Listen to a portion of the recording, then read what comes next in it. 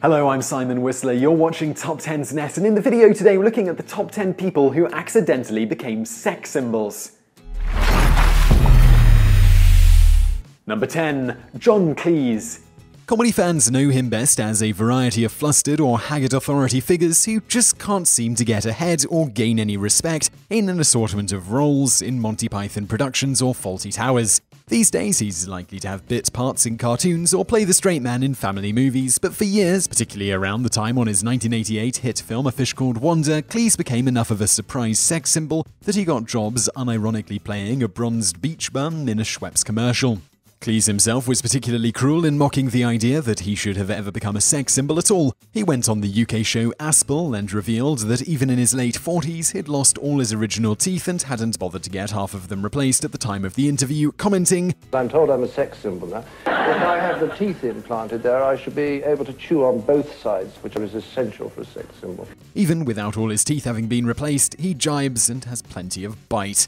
Number 9. Ruth Snyder. On March the 20th, 1927, lovers Ruth Snyder and Henry Judd Gray ruthlessly, no pun intended, murdered her husband Albert and attempted very badly to stage a burglary to collect insurance. They were found out swiftly and quickly confessed to the murder. The result was that the pair became media fixtures to a very ridiculous extent.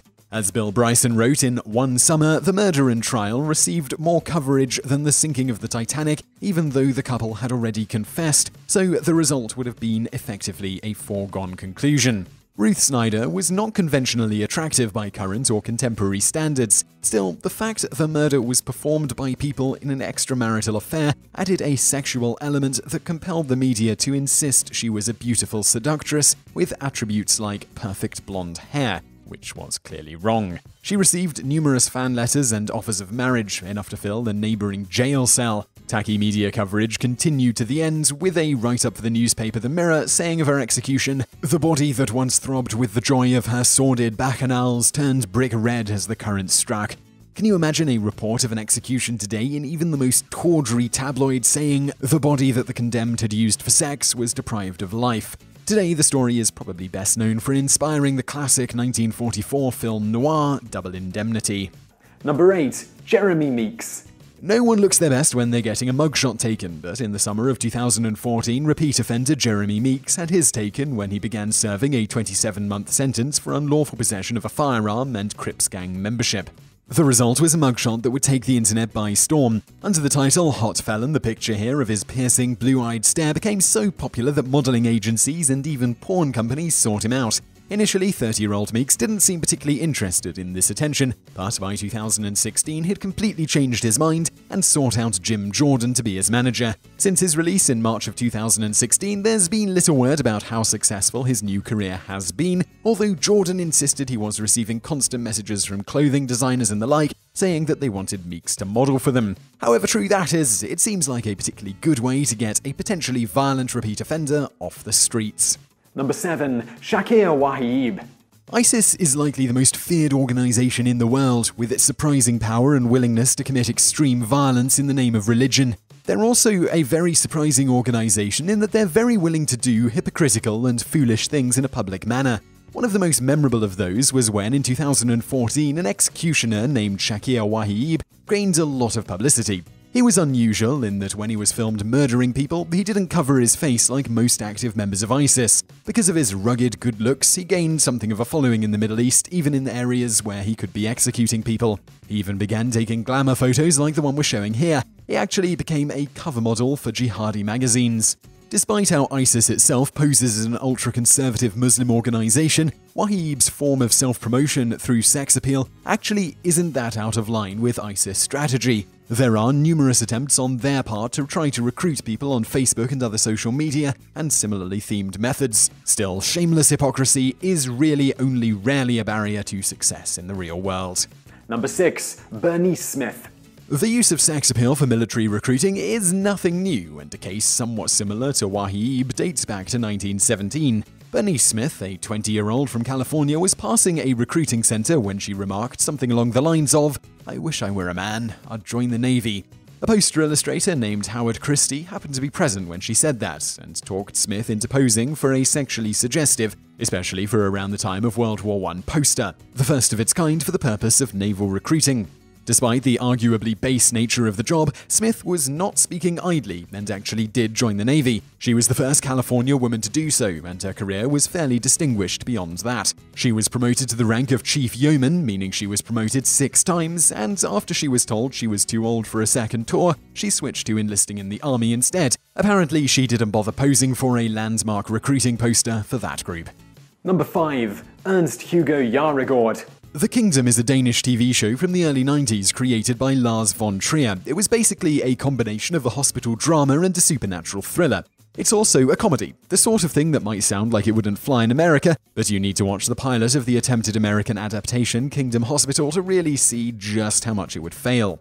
The main character for the series is Dr. Stig Helmer, who has the personality of Dr. Gregory House, but without much of the competence. Despite the man who portrayed him, Ernst Hugo Järegård, not being very conventionally handsome by television standards, the character became something of a sex symbol in Denmark. This left Järegård himself very surprised, as the character is not only unlikable, but is so bigoted towards the Danish that his trademark was to go out on the roof of the hospital and yell Danish scum.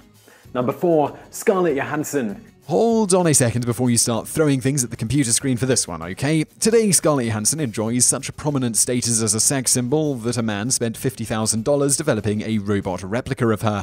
Esquire magazine put her at the top of the sexy charts in both 2006 and 2013. She's basically the modern day epitome of the term sex symbol.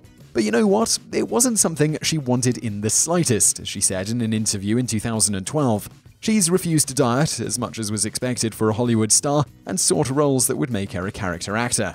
After all, who would have watched unconventional films like Ghost World and Match Point and thought she was a performer going for mainstream success and a glamorous image with those?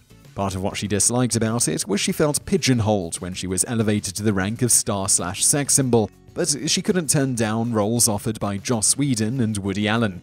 In light of the aforementioned robot, her issues with becoming that sort of public figure become pretty understandable. Number 3. Barry White.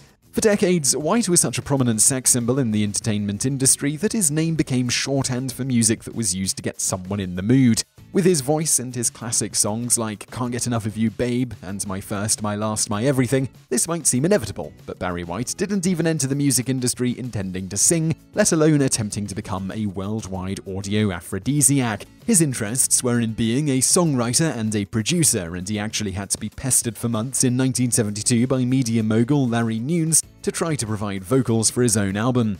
While we associate his sort of music with lounge singers and the now dated elements such as mood lighting, garish clothing, etc., White dismissed all of that stuff even when it was trendy, instead of, at best, retro. He claimed that the only thing that mattered to him was producing high quality music. To that end, he spent years turning down offers that would have exposed him to audiences nationwide because he didn't think the sound equipment was good or that the presentation of him as a sex symbol would have been plastic. Rarely has a performer had greatness so completely thrust upon them. Number 2. Ariana Grande. If Scarlett Johansson became a sex symbol reluctantly because it might interfere with her ability to perform as a character actor, singing megastar Ariana Grande claims that she was downright uncomfortable with being considered an object of desire. She stated in a 2013 interview with the San Francisco Gate, after she'd made her name on the squeaky clean Nickelodeon TV show Victorious, that she not only didn't consider herself one, but she didn't feel comfortable with the idea of being one or doing any of the stuff that would come with being one. She wasn't comfortable being sexy and had nothing to prove as far as fashion choices went or demonstrating her maturity through her sexuality. Like Barry White, she wanted the focus to remain on her music instead of her appearance. Considering that in March of 2016 she released the music video Dangerous Woman, which included her performing in lingerie, it seems that she eventually overcame her issues with presenting her body in a sexualized way while providing worthwhile music. Number 1. Colin Firth. In 2004, this internationally acclaimed actor was named one of the sexiest men alive by People magazine, mostly because of his role as Mr. Darcy in the first Bridget Jones movie. It was an especially impressive trick to pull off, considering he was in his 40s, and in 2008 he said that he never wanted to be a sex symbol. His issues with it seemed to come down to finding it bizarre and thinking that if he embraced it, it would make him vain enough that a few years down the line he would be worrying about why no one thought of him as sexy anymore. He was, however, fine with being what the Americans call a hottie.